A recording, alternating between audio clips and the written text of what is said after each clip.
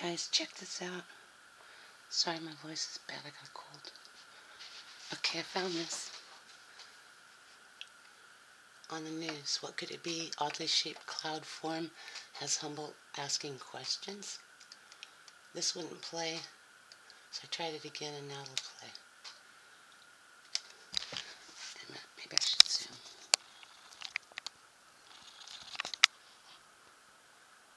This is insane.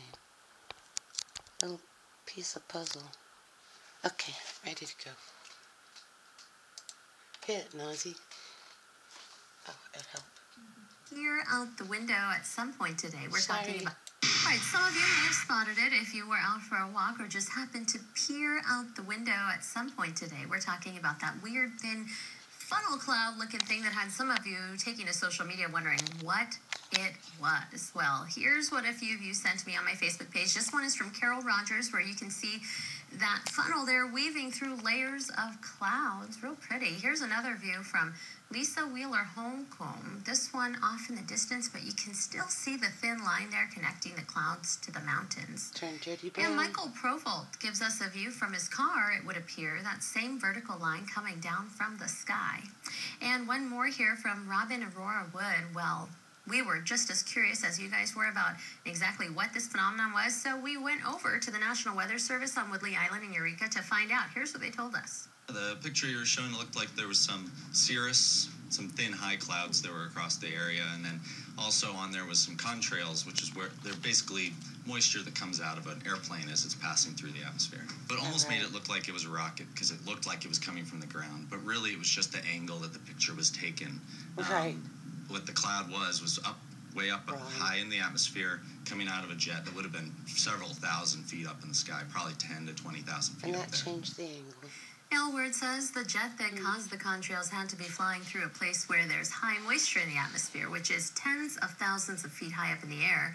He says the pressure wave that's created by the plane causes the contrail to form, which happens all the time, but in this particular case, it just formed at a weird angle that made it look a little funny. Whoops.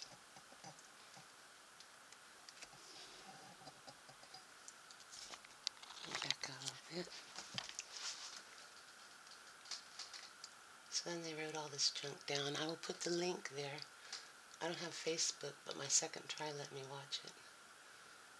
Cirrus clouds, right? Blah blah. Okay, that's the when the sun goes down, then the chemtrails look like dirt. Okay, now I want to show you something. Where'd it go? Yeah.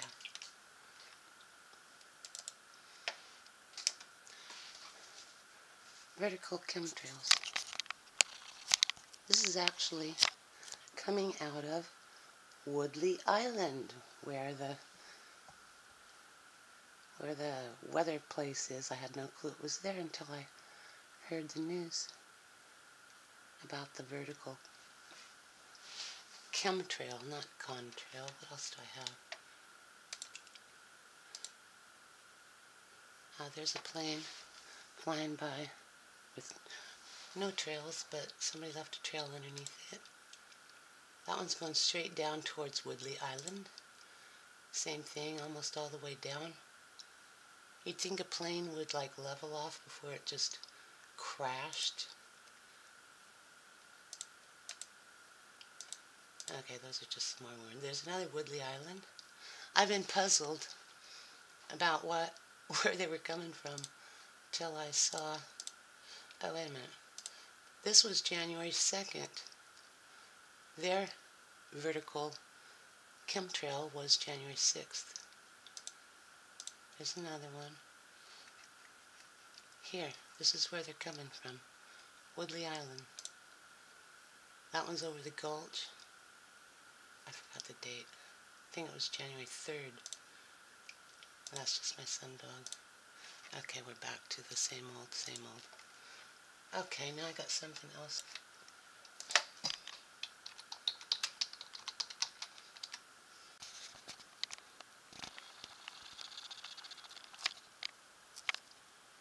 They're showing pictures of cloud seeding. One on the right is a plane. The one on the left is coming from the ground, which is what I've been suspicious of all this time, wondering why they keep coming straight up from the ground. So the people at the National Weather Service place over at Woodley are lying. That's just shameful. They're lying. Because this picture clearly shows cloud seeding coming up from the ground. Gosh, this is a crummy video. I just don't feel good. Sorry, guys.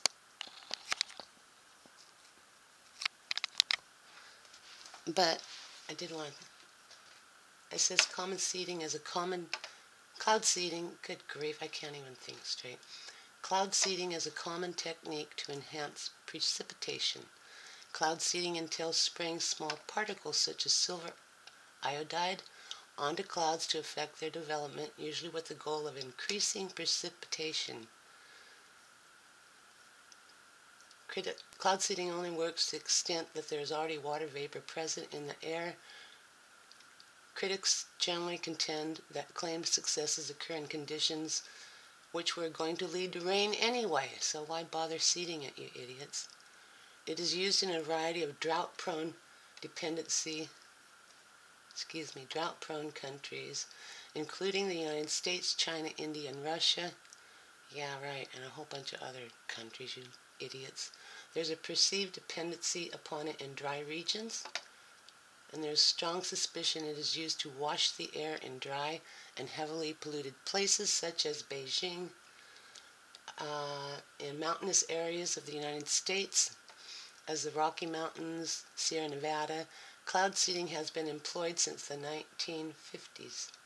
China is launching the world's largest weather control machine with the ability to modify the weather in an area similar to the size of Alaska. China has never shied away from doing things on a massive scale. Yeah, we know about that. Right? And this is yet another example of the Chinese government working on an unprecedented scale. China estimates it to produce up to 10 billion cubic meters of rainfall each year. For comparison, more than 30 countries get less than 10 billion cubic meters of precipitation, per year. Saudi Arabia has cloud seeding since 2000s, aimed to increase rainfall by 15 to 30 percent a year. The material used is potassium chloride, sodium chloride, magnesium, and